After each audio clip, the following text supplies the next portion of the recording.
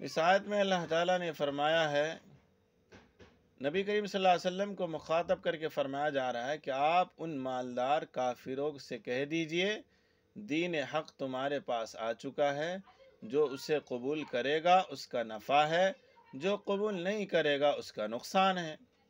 نقصان یہ کہ نہ ماننے والے کافروں کے لیے دوزک کی آگ تیار کر رکھی ہے۔ جن، جس کی دیواریں بھی آگ کی ہوں گی جب ان کو آگ کی گرمی سے سخت پیاس لگے گی تو یہ پانی طلب کریں گے، تو ان کو ایسا پانی دیا جائے گا جو تیل کی تل چھٹ کی طرح ہوگا اور اس قدر گرم ہوگا